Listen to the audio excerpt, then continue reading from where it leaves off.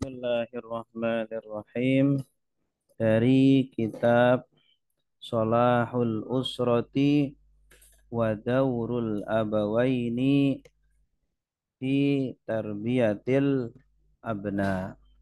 Karangan Al Habib Umar bin Hafiz hafizahullah taala wa ra'ah Insyaallah kita akan membaca halaman ke-8 tentang definisi al-khilafah. Bismillahirrahmanirrahim. Qala al-muallifu rahimahullahu taala wa nafa'ana bihi wa bi'ulumihi fid dharaini amin. Mafhumul khilafati. Definisi khilafah. Ma'na al-khilafati 'anillahi ta'ala fi ardihi iqamatu minhajihi alladhi irtadahu wa bayyanahu fima awhahu ila nabiyihil mustafa Muhammadin alaihi salatu wassalam. Makna dari khilafah atau definisi dari khilafah ya, khilafah dari Allah di buminya ya di mana kita manusia berperan sebagai wakil Allah di buminya adalah menegakkan dan mendirikan metodenya atau aturan-aturannya yang Allah ridhoi, yang Allah jelaskan pada wahyu yang Allah berikan kepada nabinya yang terpilih yaitu Nabi Muhammad alaihi salatu wassalam.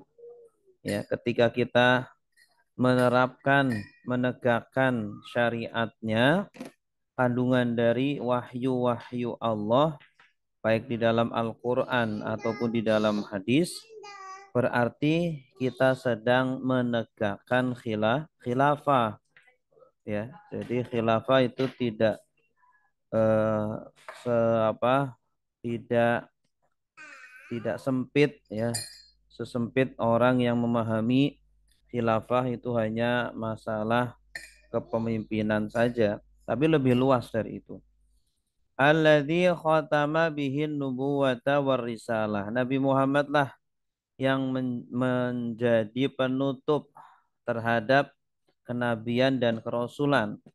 Artinya tidak ada nabi setelahnya. Sayyida ahlil bayan wa dalalati alaihi salatu wassalam.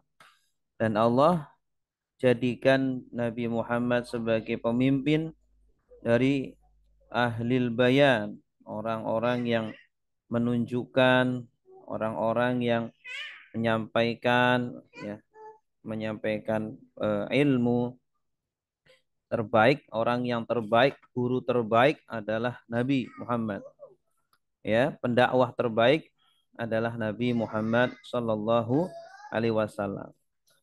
Wadhalika anna kulla amalin wa kulla masarin wa kulla harakatin fil hayati tukhalifu hadal manhaj al-ilahi hiya sababu fasadil insani wa fasadi halihi wa mujtama'ihi wa dunyahu wa akhiratihi. Ya.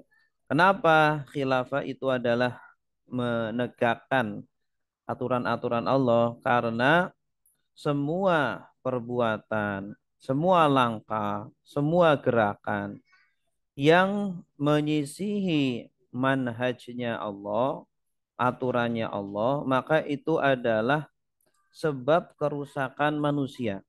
Ya, perhatikan tidak ada kerusakan di muka bumi ini kecuali dikarenakan karena ada hukum Allah yang dilanggar ya di halihi dan rusaknya kondisi manusia masyarakatnya dunia dan akhiratnya inilah satu-satunya sebab ya yang menjadikan hancurnya ya eh, kondisi di masyarakat adalah karena hukum Allah dilanggar. Fala yahsulu fasadun wala syarun wala khurujun anil hubur wal khuyur lil insan illa bi mukhalafatihi liman hajillahi ta'ala fi qawlin wa fi'lin wa niyatin.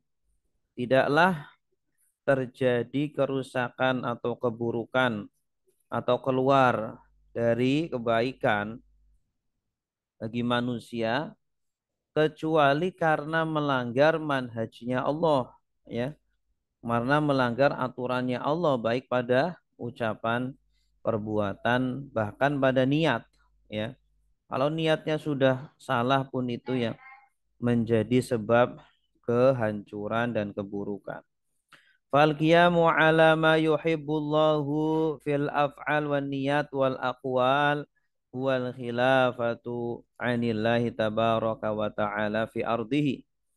Maka menegakkan ya atau menjalankan semua yang dicintai oleh Allah, baik ucapan, perbuatan, niat.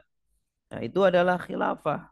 Itu artinya kita mewakili peran Allah di muka bumi ini adalah ketika menjalankan semua yang dicintai oleh Allah tatimu bihil imaratu lil usari wad diyari wal mujtama'ati syu'uni hayatiha ya fil mihani wal hirafi wal a'malil mukhtalifah jadi dengan itulah akan sempurna eh, apa al imarah ya eh, terbangunnya keluarga terbangunnya kampung atau masyarakat dengan berbagai macam uh, kondisi dan urusan-urusannya.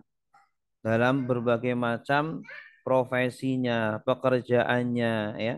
Kalau semuanya satu menegakkan hukum Allah, maka terciptalah ya eh, pembangunan eh, di muka bumi ini. Wa yakunu ihsanul amili amalihi fi fi mihnatihi wa fi hirfatihi wa fi zira'atihi wa fi tadrisihi wa fi wadhifatihi wa fi sina'atihi wa fi khiyatatihi ila ghairi dhalika ma'al qiyami bidawril asil wa huwa dawruhu fil usrah. Wa dawruhu fil bait ya.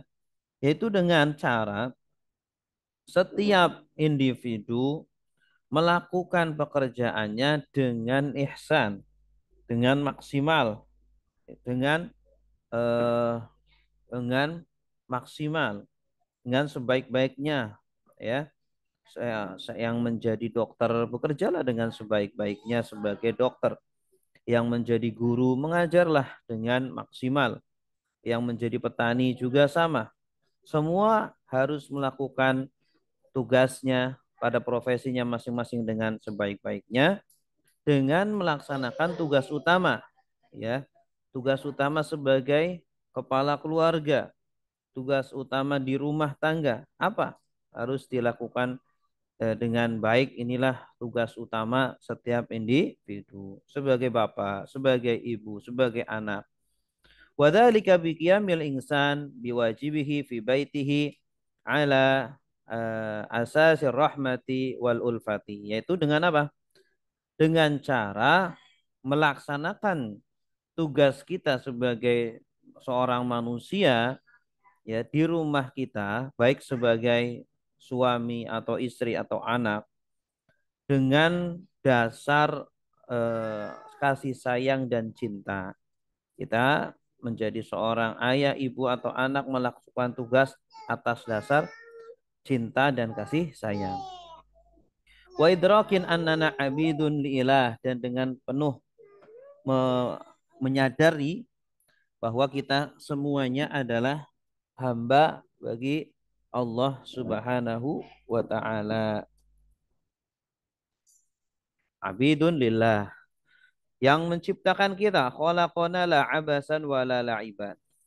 Menciptakan kita tidak sia-sia, tidak juga main-main ya. Ada eh, apa? Allah menciptakan dengan serius Yaqulu rabbuna afahasibtum annama khalaqnakum abasa wa annakum ilaina la turja'un fata'ala Allahul malikul haqq min hadzal abas maka apakah kalian mengira bahwa kami menciptakan kalian itu sia-sia main-main dan kalian tidak akan dikembalikan kepada aku dan dimintakan pertanggungjawaban ya.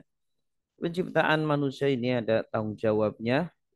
Fata'ala Allahul Malikul Haq, maka Maha Suci Allah ya yang Maha Raja, Maha benar dari uh, kesia-siaan ini.